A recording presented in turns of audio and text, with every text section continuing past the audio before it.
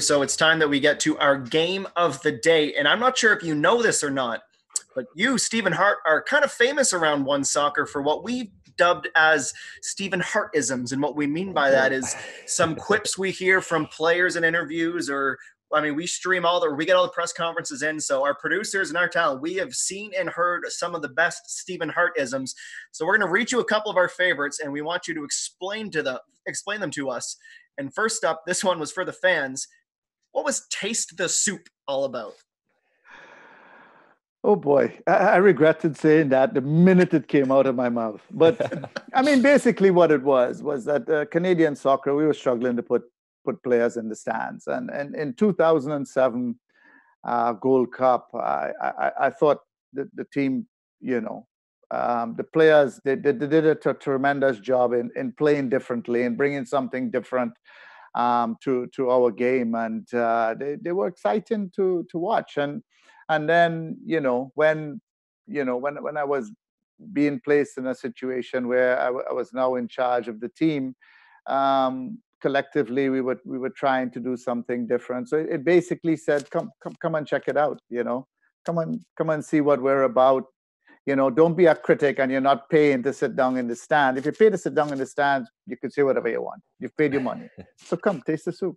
And it's still it's still difficult for uh, for the men's national team to, to to fill BMO Field right now, and I think that will come as success comes. But Stephen, just because we have you here and you are a former national team coach, maybe can you compare that that team that you took through cycling in in, in 2012 to the, the group that's that's there now? I mean, what you liked maybe about that team more than the team now, and maybe what you liked about the team now more than you liked about your team. Um, uh, I, I, think the team now has uh, probably probably a, a, lot of flexibility in the offense.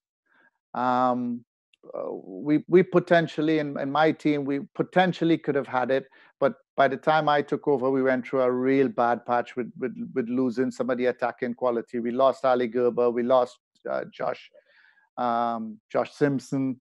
Um, Dwayne got injured in the Panama game, etc., etc., and, and we just didn't have that young player coming through that was ready um, to, to to take up the helm. But this this team here has a has a lot of flexibility in in terms of of from the midfield and forward line going forward, and and even from an attacking fullback perspective. I'm not going to get into the, the debate about where Jonathan, you know, where. Uh, yeah, Alphonso. Yeah. yeah, Alphonso should be playing, but um, you know they, they have that that flexibility and and eh, they they on their day i think in concacaf they can they can beat anybody uh, especially at home what about just one just one more on, on this subject i mean atiba he's kind of he's i'm not really sure what his place is right now in the squad i mean will he get back into it is there still a place in, in, in qualifying i'm not sure um, but would you like to see a guy like that get one final go and, and one final kind of send off game? And what can you say about his involvement at the national team level?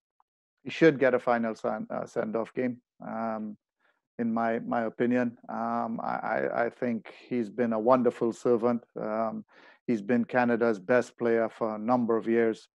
Um, have a place for him in Halifax if he wants to end his career in the CPL. Um, but yeah, I, I, think he should he should get a send off and a rousing one at that. Well, if he does go to Halifax, he will be in for some more of these Hartisms. Let's get to our second one. The ball doesn't sweat. I've been saying that since since under 17, you know, because players would come in at 15 and 17 and they would, you know, they would hang on to the balls in the wrong places, and you don't want to discourage that. Um, you hope you hope they learn lessons by losing it, but the, the, the, the, ball movement and the ball speed is very, very important in the game, and the, the ball never sweats. So if you do it right and you do it quickly, you can do it how you know how much you want. That ball is not going to get tired. So make use of it. Okay, and a quiz for you now. Only one of these of the next three Hartisms I'm going to say is real, Stephen. You have to tell us which one you actually said because they all are very believable. First of all, don't hate the player, hate the game, which sounds a lot like a Stephen Hartism. You can't wag the dog, or football is a lie. Which is true? Football is a lie. Ah, We thought we were going to stump you on that. and can you explain football is a lie to us? Well, it's a lie.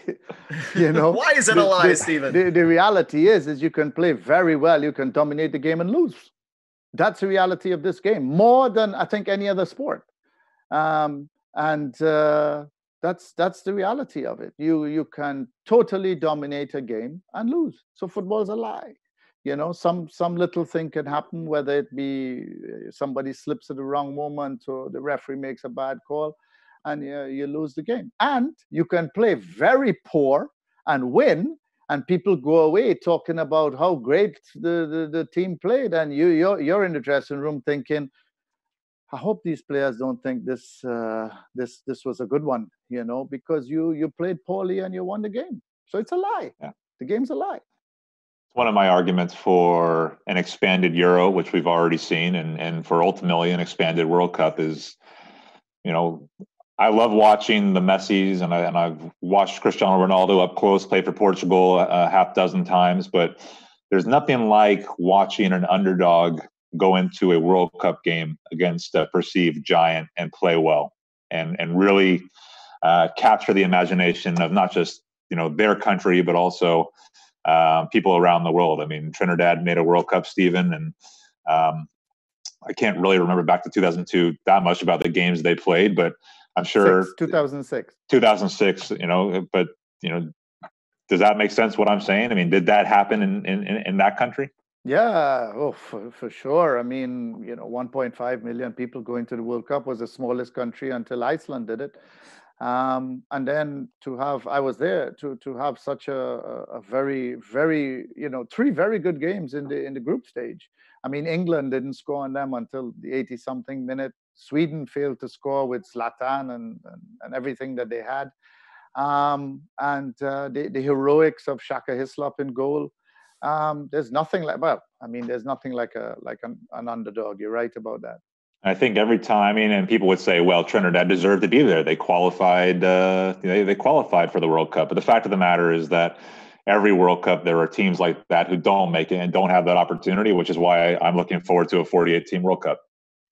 Well, I, I would prefer to see more emphasis on the on the qualifications itself.